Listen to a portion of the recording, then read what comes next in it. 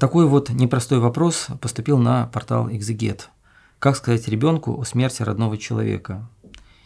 Этот вопрос и правда может поставить в тупик а, родителей, близких, потому что о смерти говорить вообще трудно. Тем более трудно говорить о смерти с детьми. Но тем не менее говорить об этом совершенно необходимо, потому что смерть – это такая данность, познание которой живущий на Земле человек никак не может избежать. Потому что каждый, кто пришел в этот мир посредством рождения, каждый покинет этот мир э, вратами смерти.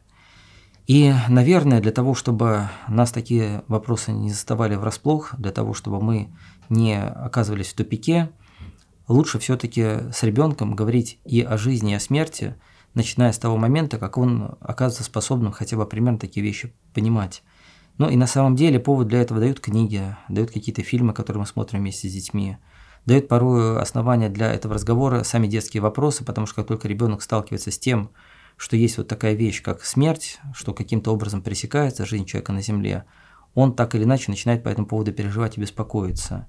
И это очень серьезный повод для того, чтобы с ребенком говорить о Боге, о взаимоотношениях с Богом, о том, что эта жизнь на Земле временна, о том, что есть другая вечная жизнь. Конечно, этот разговор должен быть очень тонкий, очень деликатный. Я порой сталкивался с такими моментами, когда вот, например, бабушка говорит с внуком о вечной жизни – а внук потом приходит домой и говорит э, своим родителям, ну все, я смерти больше не боюсь, и в принципе вообще смысла жить не вижу, потому что там в другой жизни гораздо лучше. И родители думают, как им поговорить с бабушкой, как объяснить, что с ребенком о вечной жизни надо говорить как-то иначе. Но тут налицо совершенно очевидная педагогическая ошибка.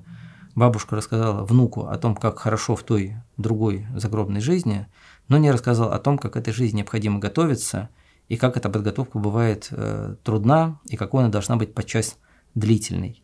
Вот. Но говорить с ребенком о вечной жизни, о жизни с Богом обязательно нужно. Тогда будет гораздо легче говорить и о смерти родного, близкого человека.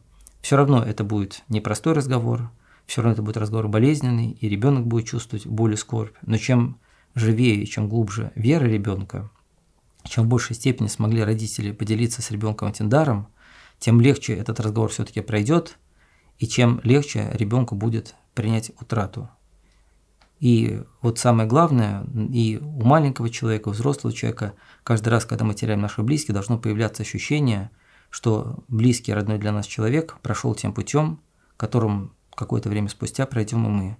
И что для нас буквально как тут открывается дверь или какое-то окошко в вечность, и это дыхание вечности мы начинаем ощущать. И помимо боли, помимо страдания, мы переживаем порой при этом какое-то удивительное чувство свободы, потому что пока мы находимся в этой жизни – очень много воспринимается как э, что-то постоянное, неприходящее, в том числе и то плохое, что есть в этой жизни. А когда мы задумываемся о вечности, то мы начинаем чувствовать удивительную свободу и удивительный простор. Вот переживание вечности, оно должно быть таким.